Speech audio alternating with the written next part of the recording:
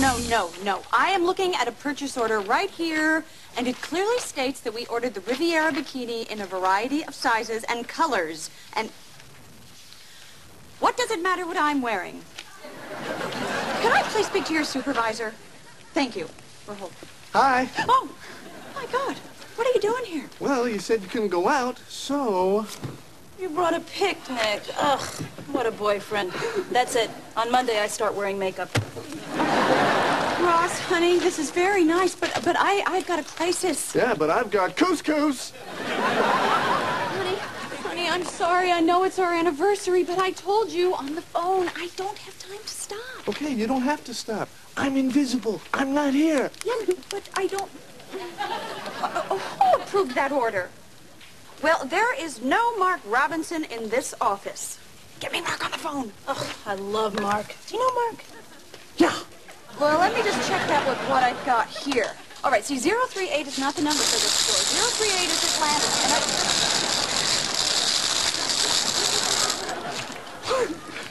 Pepper? None for me. Okay, so I'm sorry. As I was saying, the store number is wrong. And I'm sorry, but that is... Oh, my God! Oh, yeah. Oh, yeah. Excuse me, I'm sorry. I'm going to have to call you back. I've got Shemp in my office. What are you doing? Uh, I'm sorry. But, um, hey, oh, somebody's off the phone. How about a glass of wine by the fire? I get it going again. If you... Ross, you're not listening to me. I don't have time to stop. Come on, Rach. You don't have, what, 10 minutes? I don't 10? have 10 minutes. What, Sophie, does she have 10 minutes? Wait, Ross, I told you I don't. Don't yell at me, okay? This is the most I've seen you all week.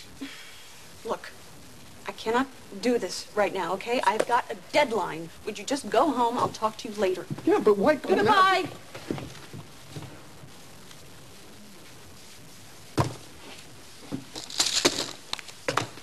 Uh, actually, that's our three-hole punch.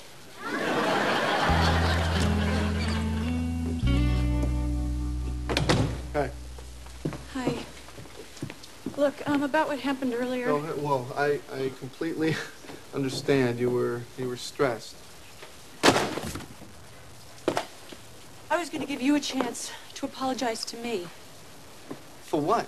For letting you throw me out of your office? You had no right coming down to my office, Ross. You do not bring a picnic basket to somebody's work. Unless maybe they were a park ranger. Yeah, well, excuse me for wanting to be with my girlfriend on our anniversary. Boy, what an ass am I.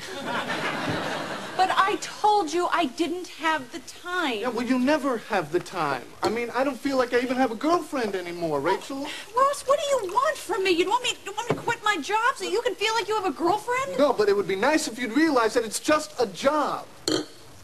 Just a job? Yes.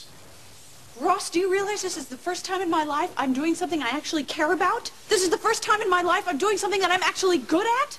I mean, if you don't get that... No, hey, I get that. Okay, I get that big time, and I'm happy for you, but I'm tired of having a relationship with your answering machine, okay? I don't know what to do anymore. Well, neither do I.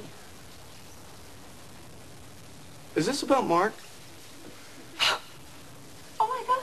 Okay, it's not. It's... Oh, my God. I cannot keep having the same fight over and over again, Ross. No, you're, you're, you're making this too hard. Oh, I'm, I'm making this too hard. Okay, what do you want me to do? I don't know. I don't know. Look, oh, maybe we should just take a break. Okay, okay, fine. You're right. Let's, uh, let's take a break. Let's cool off, okay? Let's get some frozen yogurt or something.